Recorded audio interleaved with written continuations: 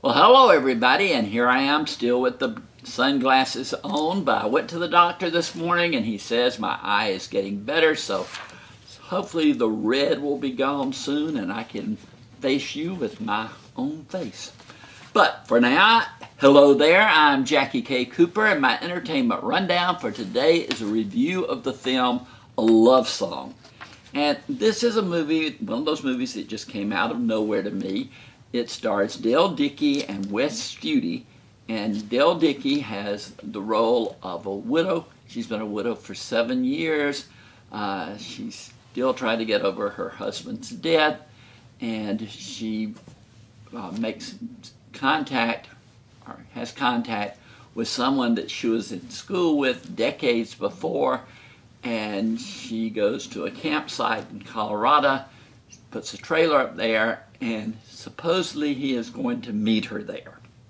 And the question is, will he or won't he, and what, how is her life affected by all this? Now, this is the kind of role that Frances McDormand would do. I mean, if you know who she is as an actress, this is a role made for her, but somehow they cast Dale Dickey, who I've never seen in a starring role. She's always been in supporting roles, but she's a very, very good actress. Wes Studi uh, is somebody else that you've seen in supporting roles, not leading roles. He's also very good. The storyline is good. The scenery is good. It tries a little bit too hard at times to, to sell its plot, but I was fascinated by it. It's rated PG for adult situations. I scored it 6 out of 10, above average. I did that because it is such good acting uh, on the part of Studi and Dale Dickey.